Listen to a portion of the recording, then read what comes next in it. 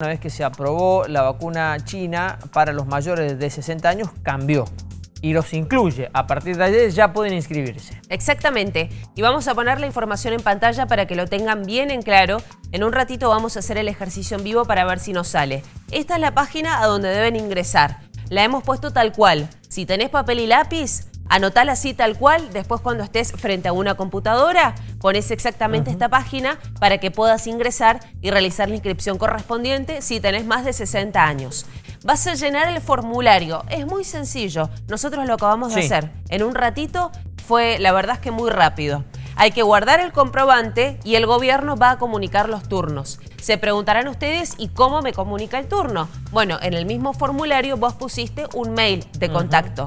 A ver, si tu mamá, tu papá, la persona que estés anotando no tiene mail, bueno, pon el tuyo, pero acordate de chequearlo constantemente. Claro, porque ahí te va a llegar cuándo y a qué hora tienen que presentarse para vacunarse y en dónde. Exactamente, así que eh, es importante que pongas todos los datos de forma correcta. Es muy sencillo el formulario, vamos a ver si en un ratito, insisto, podemos avanzar, pero te pide datos básicos, fecha de nacimiento, el, el género, el nombre, el apellido y no mucho más. Pasemos a la otra información porque tenemos dos preguntas y dos respuestas básicas en torno a la vacunación para mayores de 60 años. Por ejemplo, ¿cuál es la vacuna que se va a utilizar? A ver si tenemos la otra plaquita. La vacuna que se va a utilizar es cualquiera que esté disponible en la provincia. momento, Porque tenemos que decir que actualmente todas las vacunas con las que está trabajando nuestro país están aprobadas para mayores de 60. Entonces, hemos puesto todas las vacunas que se usan, hoy están autorizadas para mayores de 60. Por lo tanto, no te enrosques pensando, me ponen la Covishield, me ponen la Sputnik V. Todas las vacunas son seguras, eso hay que tenerlo muy en claro y después, insisto, todas están aprobadas para este grupo etario.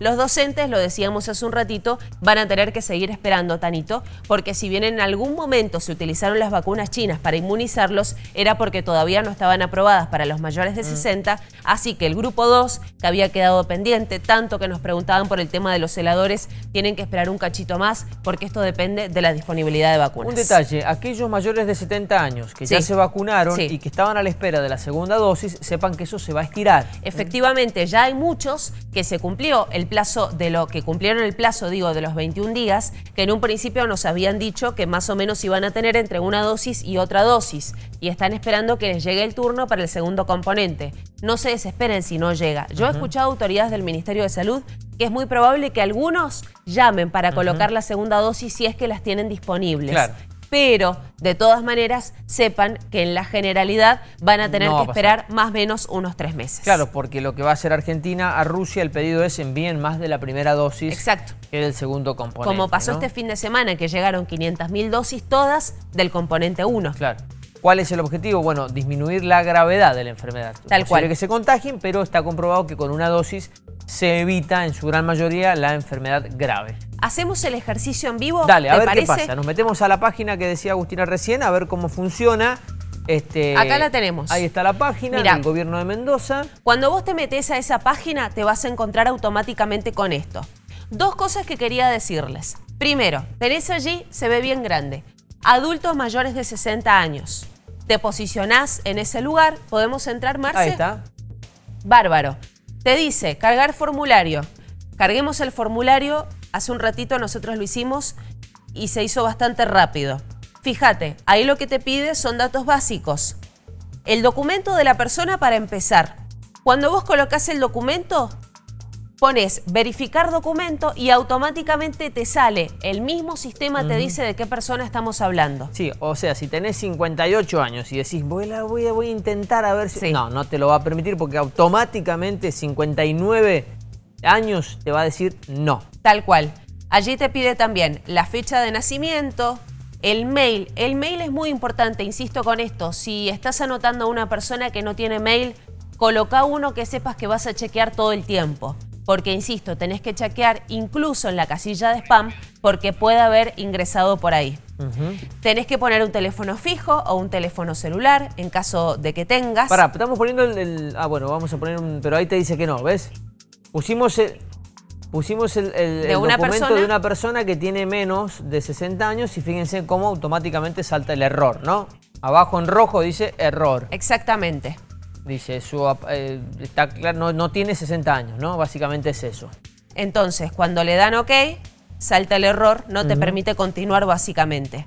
Ahora, allá, allá abajo se lee. De acuerdo a su documento, usted es menor de 60 años, señora, así que está queriendo inscribirse, pero el sistema no lo va a dejar. No lo va a permitir. Después tenés que colocar calle, número, el país, la provincia, el departamento, la localidad del departamento donde vivas y si tenés alguna observación extra, nosotros no pusimos nada y el sistema tampoco te lo exige.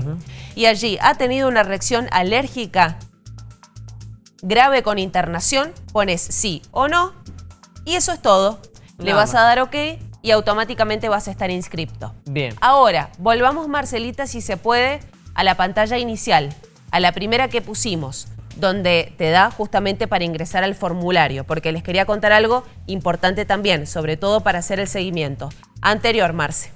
Uno antes. Uno antes. Porque esto te da un número, te va a llegar un mail, una vez que haces esta inscripción que mostrábamos recién, te llega un mail y te deja un número. Así es. Porque en esa página que mostramos al principio, donde vos tenías una pestañita que dice vacunación para mayores de 60, abajo te vas a encontrar con otra pestaña, que es exactamente esta, la que dice seguimiento de inscripción.